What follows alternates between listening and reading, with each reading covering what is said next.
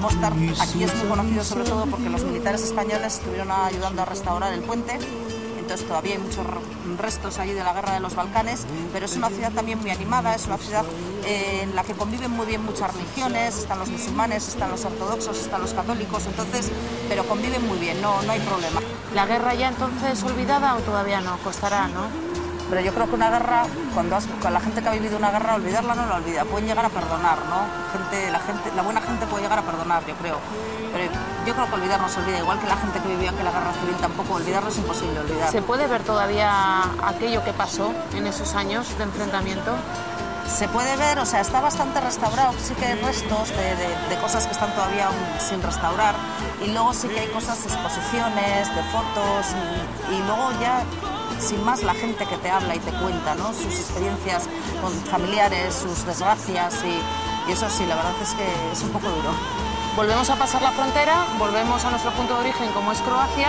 ¿Qué mm. más paradas nos recomendarías en este país que está tan de moda? Bueno, pues Croacia, lo que ya hablamos eh, hace unas semanas tú y yo, eh, muy importante, muy importante es visitar el Parque Nacional de los Lagos de Priviche, son 12 saltos de agua, es patrimonio de la UNESCO, entonces está muy bien todo caminitos para pasear, o sea, no hay que ir con un calzado tampoco de monte ni nada para hacerlo. Y es, y es agradable y además es fresquito porque vas mucho entre montes. Saltos de agua más importantes que este, ¿no? Sí, sí, bastante más. además con la curiosidad de que como el fondo del lago es de una roca, no me acuerdo qué tipo de roca es, el agua se ve verde turquesa. Sí. luego las ciudades, todas las ciudades de costa son preciosas, son puertos muy bonitos.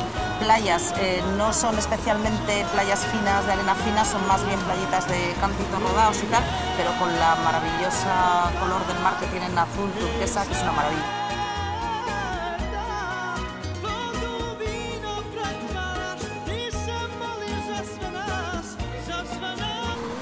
Y luego eh, más al sur también nos podemos encontrar otro país que no está tan desarrollado como Croacia, que es Montenegro.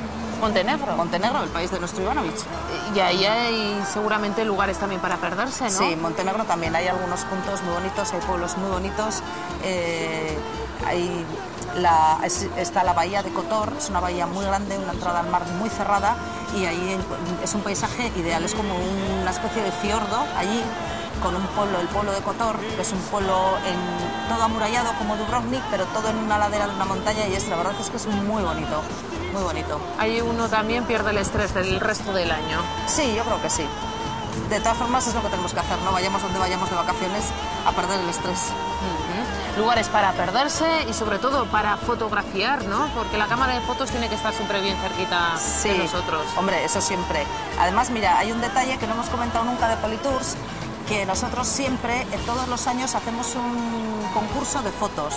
Entonces, con las documentaciones que mandamos de cualquier viaje a nuestros clientes, llevan una, unas hojitas para que participen en un concurso que hacemos anualmente para, eh, de fotos, para que ellos nos manden fotos de las que han hecho en sus viajes. Una foto que digas, qué foto me ha salido más maravillosa, o cómo he pillado a esos niños ahí con ese fondo de ese templo, cualquier cosa. Algo que digas, qué foto más increíble acabo de hacer, la mandas a Politours, entras en un sorteo y, cada año regalamos, eh, me parece que son seis viajes.